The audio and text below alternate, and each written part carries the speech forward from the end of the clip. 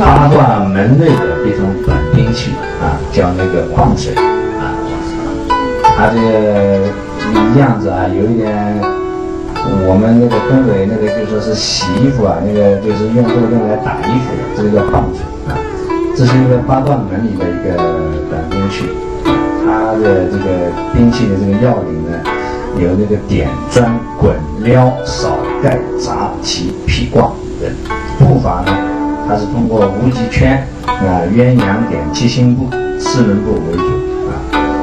这个八卦拳里边呢，它有一些要诀，叫做手眼心一致，精气神合一啊。所以它这套拳呢，就是这套器械呢，就是基本上是按照这个八卦拳的一个要领来走的。那中国古代在冷兵器的时间呢，呃，就是在冷兵器时代啊，有各种各样的，有十八般兵器啊。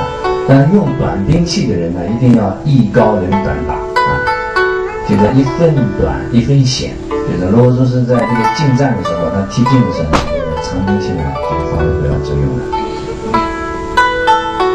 谢谢，谢谢。